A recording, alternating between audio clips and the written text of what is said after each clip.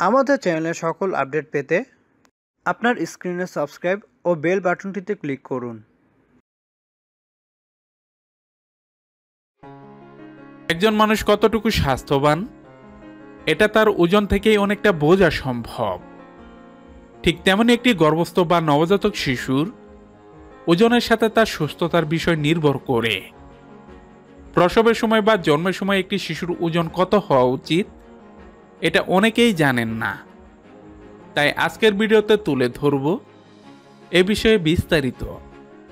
মনোযোগ সহকারে পুরো ভিডিওটি দেখুন। সাধারণত চল্লিশ সপ্তাহ মিলে একজন নারীর গর্ভকাল হিসেব করা হয়। এই চল্লিশ সপ্তাহের মধ্যে প্রথম তিরিশ সপ্তাহ পর্যন্ত শিশুর ওজন খুব ধীরে ধীরে বাড়ে। দেখা যায়, তিরিশ সপ্তাহ শেষে শিশুর ওজন হয় তেরোশো উনিশ গ্রামের মতো। আর বাকি দশ সপ্তাহে শিশুর ওজন বাড়ে প্রায় আড়াই গুণ। অর্থাৎ চৌত্রিশশো বাষট্টি গ্রাম হয়ে যায়। তবে মনে রাখবেন, এটা একটি আদর্শ ওজন। এর থেকে আপনার বাচ্চার ওজন কিছুটা কম বেশি হলে চিন্তার কিছু নেই। এখন অনেকের মনে প্রশ্ন আসে, জন্মের সময় শিশুর ওজন কত হলে স্বাভাবিক ধরা হয়? সহজে বলতে গেলে শিশুর জন্মের সময় কমপক্ষে তিন কেজি ওজন হলে মোটামুটি স্বাস্থ্যবানই ধরা হয়।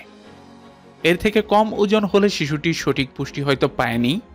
মূলত গর্ভবতী মায়ের খাদ্যাভ্যাস ও জীবনযাপনের উপর গর্ভের বাচ্চার ওজন কম বেশি নির্ভর করে।